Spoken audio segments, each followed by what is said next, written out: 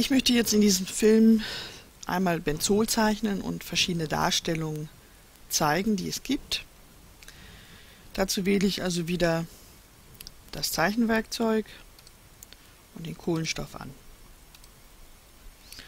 So, das Ganze ist etwas klein, also vergrößern wir es mal.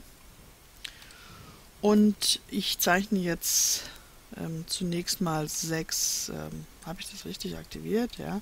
ja, manchmal klappt es nicht so gut, wenn Atome irgendwie zu weit im Hintergrund sind. Dann muss man das Ganze ein bisschen drehen und dann klappt es irgendwie dann doch wieder. Drei, vier, fünf und sechs Kohlenstoffatome. Die muss ich jetzt noch zu einem Ring verbinden. Es gibt verschiedene Möglichkeiten. Ich mache das Ganze folgendermaßen. Und zwar ziehe ich von einem beliebigen Atom, also beziehungsweise mit einem beliebig ausgewählten Atom, von dem Anfangs zu dem Endatom, zwischen dem ich die Bindung, also die Ringbildung dann haben will. Das heißt, ich muss von dem hier zu dem da drüben ziehen. So wichtig ist, dass ähm, rastet quasi ein und man sieht, dass die Anzahl der, Kohlen, äh, der Wasserstoffatome sich jetzt schon angepasst hat. Natürlich stimmt das so nicht.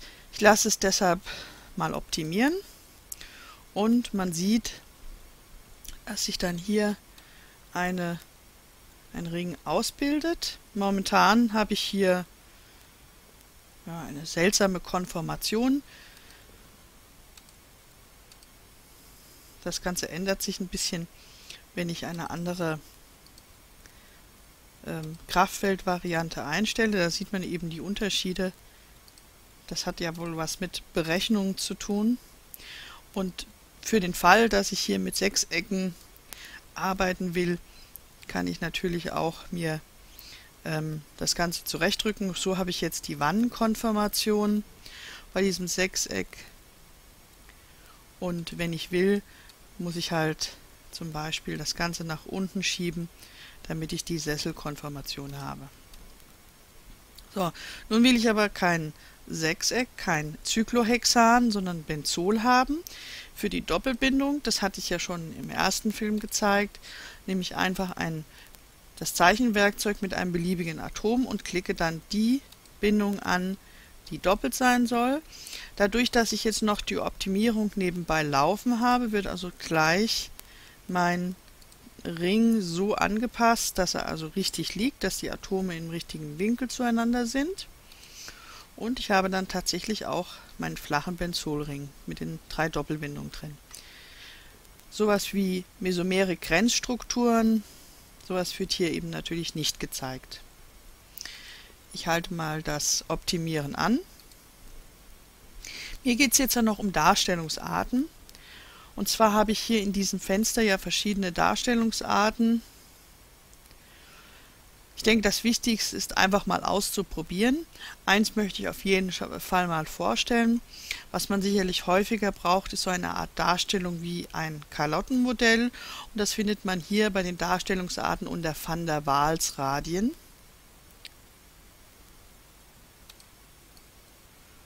Und man kann jedes dieser Darstellungsarten hier, das hinten dran so ein ähm, Schraubenschlüssel oder Schlüsselwerkzeug äh, enthält, irgendwie einstellen. Dann gibt es ein zusätzliches Fenster.